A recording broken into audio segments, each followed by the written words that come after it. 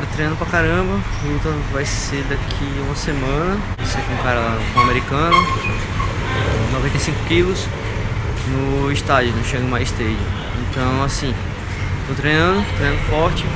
Infelizmente hoje eu senti a panturrilha de novo. Tá foda essa panturrilha aqui, tá. Mas assim, por quê? Porque eu pulei pneu ontem, né? teimoso. Pulei muito pneu ontem.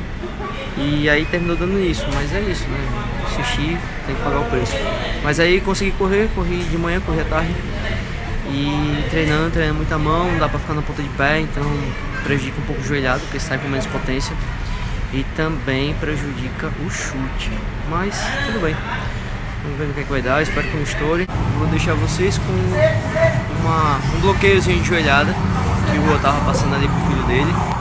Coisa bem simples, mas muito eficaz quando você tá no clinch e não aguenta mais tomar joelho para poder partir para outra, pra outra coisa, tipo, para outra pegada ou para botar um cotovelo. Você bloqueia, bloqueia ali para fazer outra coisa.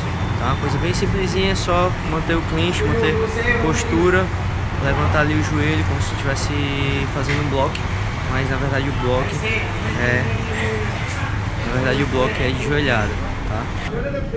Então fica aí com a pequena aula de hoje e tamo junto, deixa teu like, se inscreve no canal. Valeu!